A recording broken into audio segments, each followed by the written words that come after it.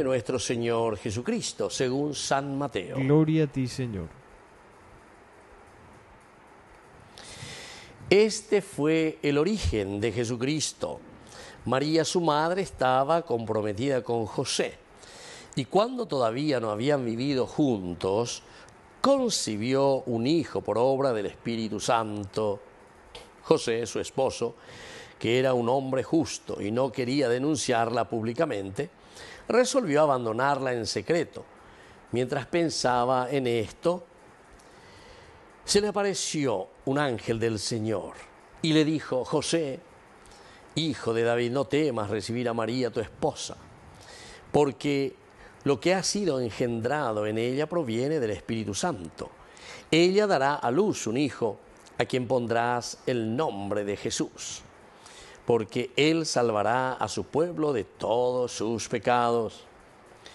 Todo esto sucedió para que se cumpliera lo que el Señor había anunciado por el profeta. La Virgen concebirá y dará a luz un hijo, a quien pondrá el nombre de Emmanuel que traducido significa Dios con nosotros.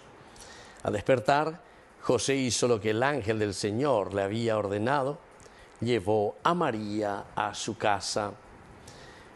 Palabra del Señor. Gloria a ti, Señor Jesús. Queridos amigos, qué lindo entonces. Hoy estamos en esta feria privilegiada, así se dice, de Adviento. Estamos ya tan cercanos a la Navidad y por lo tanto preparamos nuestro corazón, preparamos nuestra vida a la venida del Señor.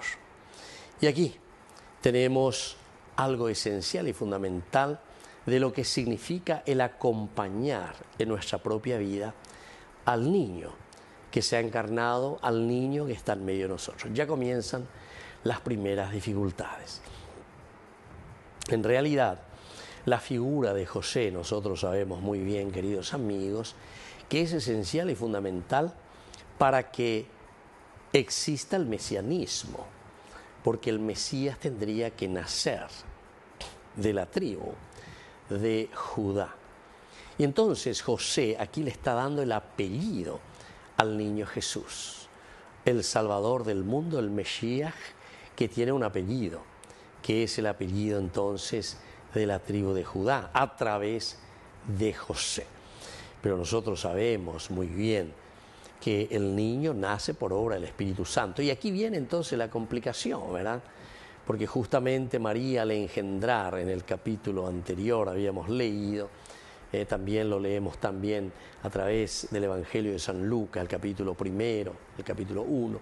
Entonces, cómo el Señor se hace presente y cómo entra Dios mismo el Espíritu Santo engendrará en tu seno a ese niño que será llamado Hijo del Altísimo, es decir, de Dios, encarnación. Peñandillara lleva oñemui, peñandere pupe, peñandillara oñemui, peñandere coebe, peñandere sociedad. Y les estaba diciendo que no era fácil, porque al comienzo incluso José dice, resolvió abandonarla en secreto. Pero en cuanto estaba pensando en esto, es el Señor mismo el que actúa dentro de la historia de la salvación. El ángel del Señor se le aparece en sueños y le dice, José, hijo de David, no temas en recibir a María, tu esposa, porque lo que ha sido engendrado en ella proviene del Espíritu Santo.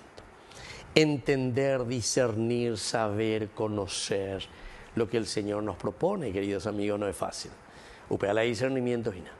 Aopeala Ureana, José, el hombre justo, José por otra parte, el hombre manso, José por otra parte, que nos invita también a nosotros a hacer un camino de discernimiento aún en el momento de las dificultades.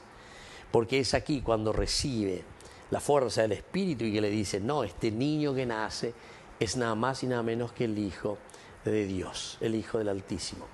Y le pondrás por nombre Joshua, que quiere decir justamente Salvador. Que así sea. Que así sea.